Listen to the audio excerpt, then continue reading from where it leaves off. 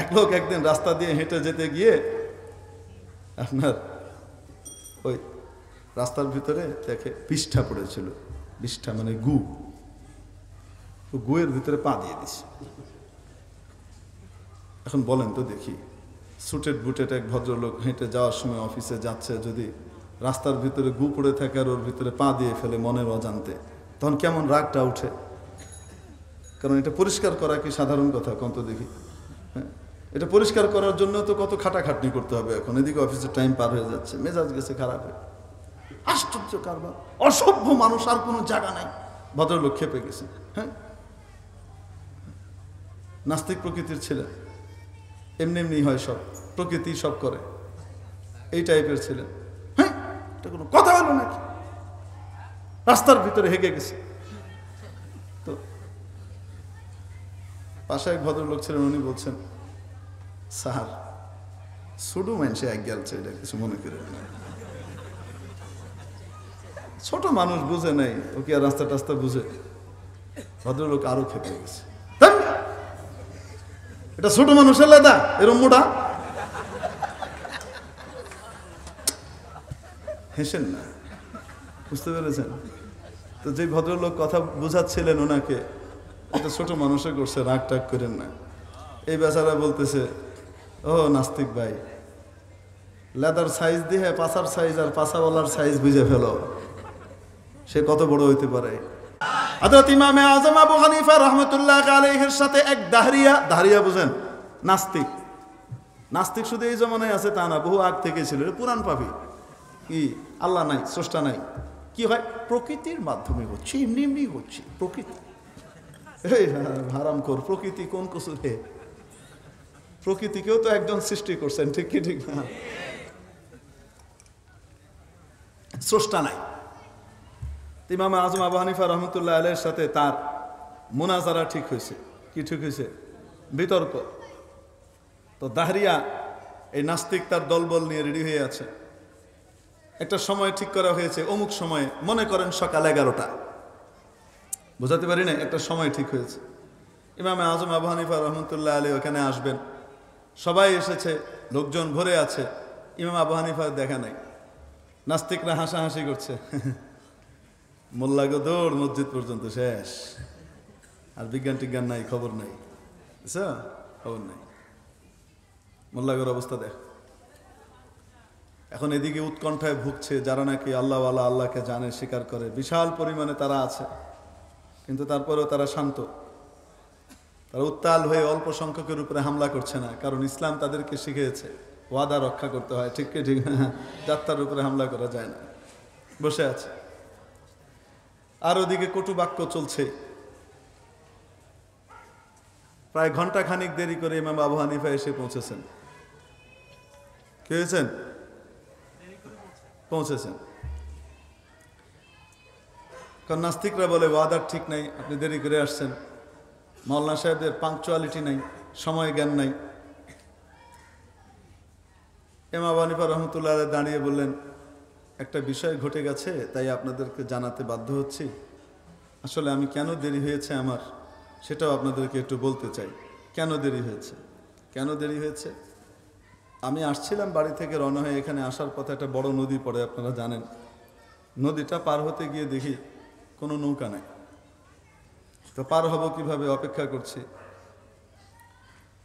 চিন্তা ভাবনা করছি এরই ভিতরে কোনো নৌকা নাই, নৌকা খুঁজে বেড়াতেই সময় চলে গেল।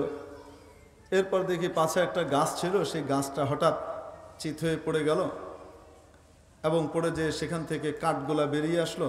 তারপরে কাঠগুলা তক্তা হয়ে গেল, ফালি ফালি তক্তা হয়ে তারপরে একটা একটার সাথে জোড়া লেগে গেল এবং জোড়া লেগে সুন্দর একটা নৌকা হয়ে গেল। তারপরে আমি নৌকাটায় উঠলাম। তারপরে ওখান থেকে বৈঠা দিয়ে এসে আপনাদের সামনে পৌঁছালাম। এই হলো ঘটনা এবং বৃত্তান্ত। নাস্তিক দাঁড়িয়ে বলতেছে গাঁজাখড়ি কথার আর কোনো জায়গা নাই, দেখছেন কি বলে? এই লোকের যে মাথা খারাপ, একে এনেছেন আপনারা আমাদের সাথে মোকাবেলা করার জন্য। এটা কি কোনোদিন হয় নাকি বলেন, বিশ্বাস্য? বলেন না কেন? একটা গাছ অটোমেটিক তক্তা হয়ে যাবে অটোমেটিক জোড়া লেগে যাবে অটোমেটিক নৌকা হয়ে, জাহাজ হয়ে, রেডি হয়ে যাবে, আর ওটাকে মাবানিফা চালায় চলে আসবে। এগুলো হয়। বলেন না কেন? তো উনি বললেন, কেন, সমস্যা কি? নৌকাকে এমনি এমনি হয় নাকি? এটাকে বানাইতে হয় না? কাট কাটতে হয়, তারপরে এটা করতে হয়, তারপরে এটা করতে হয়। এম আবু বললেন, ও আচ্ছা। একটা নৌকাও তাহলে অটোমেটিক হয় না, তাকে কেউ বানাইতে হয়। এই নৌকা বানানোর জন্য বিশাল গাছগুলা এবং এই বিশাল আসমান, জমিন, চন্দ্র, সূর্য, সময় মতো চন্দ্রের আসা, যাওয়া, ডুবা, জোয়ার, ভাটা এই সবগুলো কেউ বানায় নাই, এমনি এমনি সব হয়ে যাচ্ছে। একটা ছোট্ট নৌকা এমনি এমনি তৈরি হয় না, এই আসমান, জমিন আর ভিতরকার এত বিশাল সৃষ্টি আর নিজাম, নিয়ম, নীতি, সব এমনি এমনি হয়ে গেছে। বুঝতে পারছেন?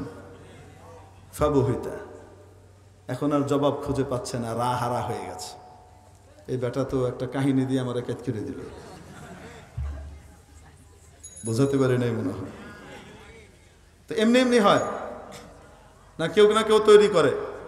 আসতে বলেন না। কেউ না কেউ তৈরি করে কিনা আহা। এক লোক একদিন রাস্তা দিয়ে হেঁটে যেতে গিয়ে আপনার ওই রাস্তার ভিতরে দেখে বিষ্ঠা পড়েছিল। বিষ্ঠা মানে গু। গুয়ের ভিতরে পা দিয়ে দিছে। এখন বলেন তো দেখি।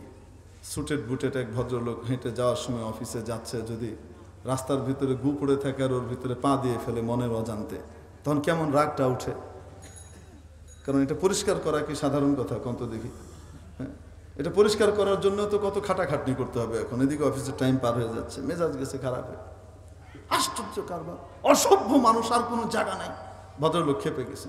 হ্যাঁ? নাস্তিক প্রকৃতির ছেলে। এমনি এমনি হয় সব। প্রকৃতি সব করে। এই টাইপের ছেলে। হ্যাঁ এটা কোনো কথা হলো নাকি? রাস্তার ভিতরে হেগে গেছে। তো পাশে এক ভদ্রলোক ছিলেন, উনি বলছেন, স্যার, ছোটো মানুষে এক গেলছে এটা কিছু মনে করে ছোট মানুষ বুঝে নাই, ও কি আর রাস্তা টাস্তা বুঝে? ভদ্রলোক আরও খেপে গেছে! এটা ছোট মানুষের লেদা, এরম মোটা? হেসেন না। বুঝতে পেরেছেন? তো যে ভদ্রলোক কথা বুঝাচ্ছিলেন ওনাকে এটা ছোট মানুষে করছে, রাগ টাগ করেন না। এই বেচারা বলতেছে, ও নাস্তিক ভাই, লেদার সাইজ দিয়ে পাশার সাইজ আর পাশাওয়ালার সাইজ বুঝে ফেলো। সে কত বড় হইতে পারে? এত বিশাল আসমান আর জমিন দেখো, আর এটার স্রষ্টা আল্লাহ কত বড়, এটা বুঝে আসে না। বুঝাই দিলে যিনি বুঝাইছেন, অত শিক্ষিত না এক গ্রাম্য মানুষ। কিন্তু আকল ঠিক আছে, বিবেক ঠিক আছে, যা দেখে, দেখার জিনিস দেখে, ভাবার জিনিস ভাবে, চিন্তা করার জিনিস চিন্তা করে, যেটা ভাবার না, অকথা কুকথা নিয়ে দৌড়াদৌড়ি করে না, ঠিক কি, ঠিক না? কারণ সে জানে আমাকে তৈরি করা হয়েছে একটা কাজের জন্য, সেটা হলো আসমান জমিনের মালিক, আমার মালিক আল্লাহর ইবাদতের জন্য। ওয়ামা খালাকতুল জিন্না ওয়াল ইনসা ইল্লা আমি জিন এবং ইনসানকে তৈরি করেছি শুধুমাত্র আমি আল্লাহর ইবাদতের জন্য।